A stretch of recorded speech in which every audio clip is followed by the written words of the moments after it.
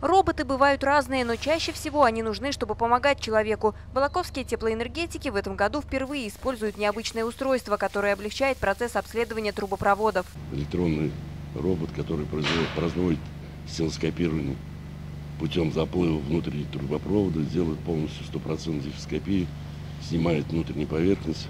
Даль- Дальше э, ребята обрабатывают ее на специальной программе и выдают нам заключение Этот робот больше похож на торпеду. Обтекаемая форма, умение двигаться в воде быстро по заданному направлению. Устройство видит все, что происходит в теплосетях, даже то, что невозможно выявить опрессовками или традиционными инструментами диагностики. Если наросты в трубе, если инородные предметы какие-то посторонние, потому что, ну, всякое бывает. Вот, соответственно, после того, как я захожу на заданную дистанцию, э, на обратном пути я начинаю сканирование. Соответственно, во время сканирования прибор определяет остаточную толщину стенки трубопровода по всей, получается, поверхности на 360 градусов.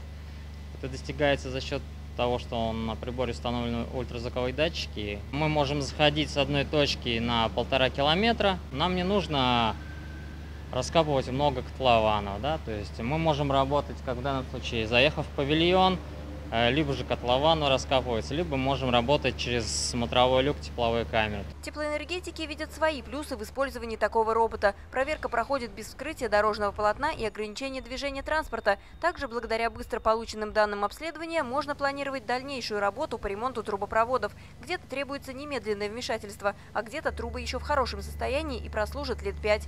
Уже сейчас можно делать выводы по обследованным сетям. 21 микрорайон. Там уже есть э, э, пред- предмет, на чем поработать на следующий год. В этом году мы пойдем не менять трубопровод, на следующий год будем там менять трубопровод.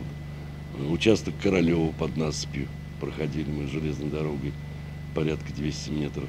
Там в двух местах тоже дефекты опре- определены. Но так, в общем, вот на сегодняшний момент критично сказать, что сложной ситуация была, эксплуатировать нельзя, сказать ну, нельзя. То есть можно год поработать спокойно. Специалисты, которые запускали необычного исследователя в Балаковские теплосети, тоже подтверждают, состояние основных трубопроводов рабочие. В общей сложности они проверяют 4 километра тепломагистралей, благодаря которым происходит теплоснабжение всех микрорайонов города.